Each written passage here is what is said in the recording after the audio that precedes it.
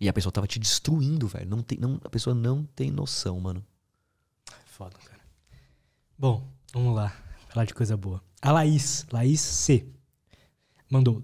É, tem recebido muitos ataques depois das de declarações do último podcast sobre ETs, etc. Ratanabá.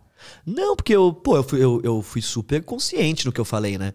Assim, por mais que os cortes pareçam que eu sou maluco, porque é, é normal. Ah, Ratanabá existe. Aí você clica lá eu falo que não, né? Que tipo, que é a teoria maluca do cara do ET Bilu. Então, tipo, não, não aconteceu nada não. O que aconteceu foi, quando eu falei sobre espiritualidade e autoconhecimento no primeiro podcast, putz, eu recebi, a primeira vez que eu fui no Flow, né? Eu recebi mensagens, assim, durante três meses das pessoas. Dez por dia. E dessa vez eu tô recebendo duas por dia. Menos, menos gente que sentiu se sentiu tocado com o assunto dos aliens. Mas eu achei importante eu falar. Como eu falei só coisas baseadas em documento, puta, como eu falei, né, cara, eu sou o maior preocupado, consciente no meu discurso, eu sei onde, onde pega, tá ligado? E, e eu, hoje eu sou muito mais defensor da ciência do que das outras coisas. Eu adoro, adoro é, espiritualidade, só que eu sou defensor da ciência, principalmente depois da vacina, de tudo que aconteceu.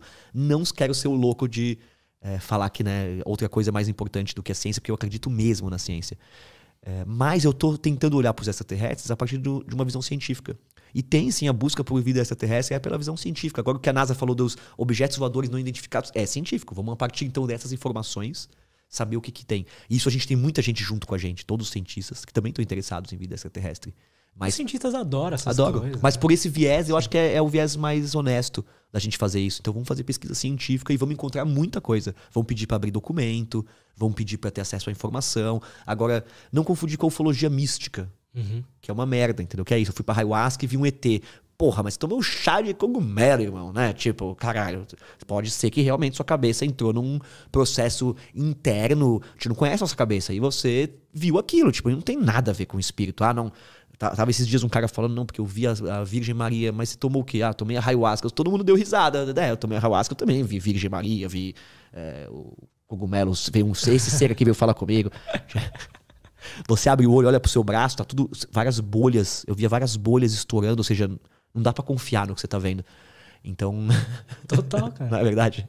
Então eu acho que tem que separar a ufologia mística, que é onde as pessoas estão rachando de ganhar dinheiro, onde os coaches quânticos estão rachando de ganhar dinheiro, levando as pessoas para esse lado, cara, do que é, é científico, que é, é, pesquisa de documento, por exemplo. Então a gente tem transcrição de documento, a gente tem os documentos da Operação Prato, todas essas coisas são possíveis de ser questionado. Em 1947, uma bola de aço é, viaja 3 mil km por hora e muda de direção 90 graus, tá? É uma tecnologia americana. Que tecnologia americana que temos há 70 anos que faz? Ou seja, então vamos Mesmo olhar. que não for alien, não é fascinante da mesma fascinante. forma? Vamos ter que descobrir o que, que é. Então, então me fala o que, que é, se não é alien. É alguma coisa tão fascinante que abriu margem para tudo isso.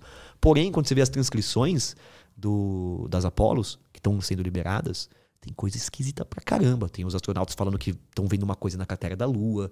Eles comentam, diz de uma fogueira. Tem outro astronauta que fala que teve uma nave que se juntou com a estação espacial e eles viram isso. Então, assim, essas coisas ainda são meio é, nebulosas. Isso o... é real, documento que são eles documentos. da transcrição. Isso, isso. Transcrição te mostra, aqui até todos os documentos que o Tom me passou bonitinho. O que acontece?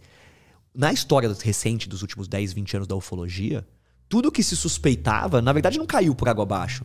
Tipo assim, não, o Paul Haley falou de 56 raças alienígenas e a gente descobriu que o Paul Haley ele tem uma doença de esquizofrenia, ele vê coisa, pô, caiu tudo. Não. O que então de 20 anos pra cá, o que, que pareceu? Mais astronautas, eh, ex-astronautas falando, mais pessoas importantes falando sobre isso, documentos sendo revelados que realmente existem objetos voadores não identificados. Então, peraí, por que, que nos últimos 20 anos a gente simplesmente não desmascarou todos esses caras, tá ligado? E acabou com essa putaria? Verdade, cara. Eu acredito.